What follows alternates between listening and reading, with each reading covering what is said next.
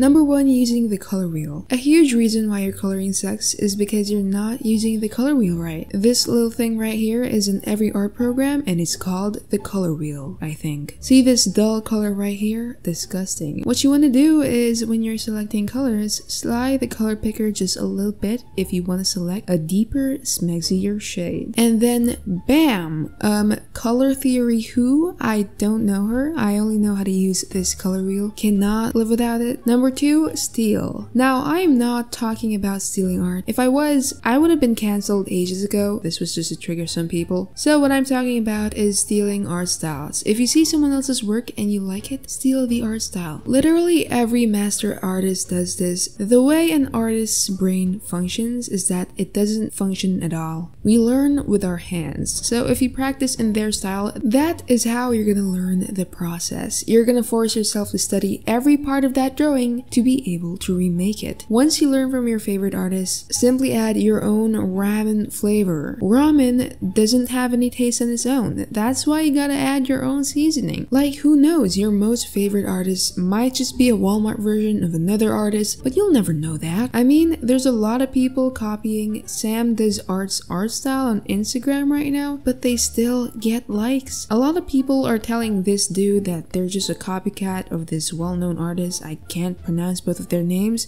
but like even if he didn't copy, he'd sure as hell be better than those haters. As long as you don't outright steal, you're good baby. Just add your own ramen flavor. Number 3. Use the right brushes. Contrary to popular belief, I do not believe in the saying that real artists don't need fancy equipment. Bro, at school I be using like these cheap pens and it feels like crap to write using them. As a result, my handwriting was crap. But then sometimes when I use a different pen, the feel is absolutely different. Bro, that baby glided through paper so smoothly, it felt like touching a baby's butt. That's the way I felt when I used new brushes. It just blends so well, so nicely, digitally of course. I don't draw on paper, that stuff is expensive as hell. So am I saying to go ahead and buy new equipment and brushes right now? No, but if there are free resources, dang, why would you let the opportunity pass? Obviously, what works for me wouldn't work for everybody, but ever since I installed these babies, I felt powerful. My brushes are in the description in case you need them. Number 4. Use references. Another controversial topic. Why is this even controversial, like literally? So a lot of people seem to think that all pro artists just draw what's in their mind, which I mean, it's true. There really are art gods who can like draw all sorts of magical hee-hees, but they obviously had to start somewhere. Now, for me, I literally cannot draw without using references. So the reason why you should be using references is that your imagination sucks. In order to draw something, you have to know what it looks like, obviously. So you have to like look for references of poses, lighting, and other stuff that you haven't mastered yet. You should treat references like Asian parents treat their children. They're never enough. So bottom line is, all artists use references, you just don't see it. In my experience, most artists don't really show their reference because A, why would they when you should be looking at their art? And also it might look like crap because when you look at the reference, oh, it's all good. And then, whoa, is that your drawing? It sucks. It looks weird after looking at the reference. Anyway, a lot of artists use references more than you think, so don't be afraid to use references. Number 5. Leave like your dad left you. What I want you to do after finishing your art is to leave, bounce out of there, and then come back like a day later. What this is gonna give you is a fresh perspective. If you stare at your artwork for so long, you're gonna get used to it, and when you get used to it, you won't see the ugly flaws. This is why when you look at your art years after, you go like, ew, I drew that? So the thing is, you should be using the tools to make yourself spot the flaws, such as the mini preview in the corner. This is going to give you a mini version of the overall shape of your ugly drawing. Or you can flip your canvas, which I do like literally every 10 seconds, or you can leave and come back a day later. Get some fresh air, you know,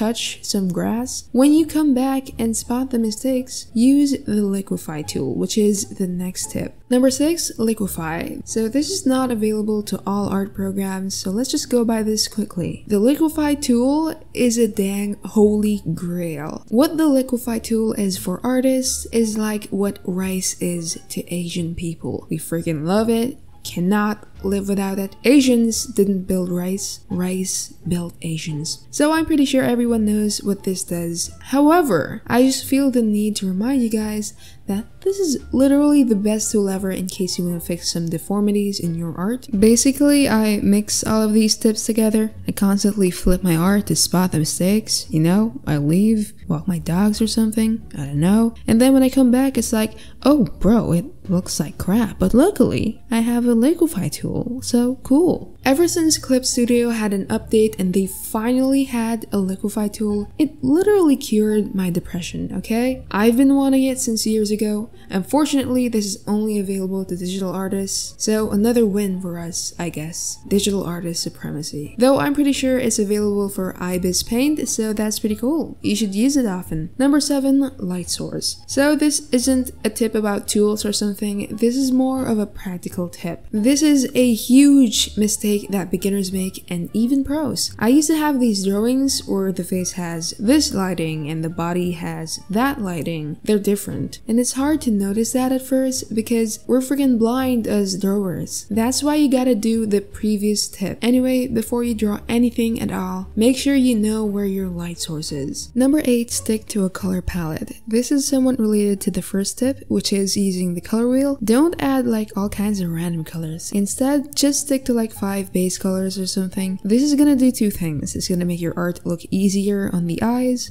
and number two, it makes your Instagram feed more aesthetic. More aesthetic means more likes. Do it for the cloud. The very last tip is to break rules.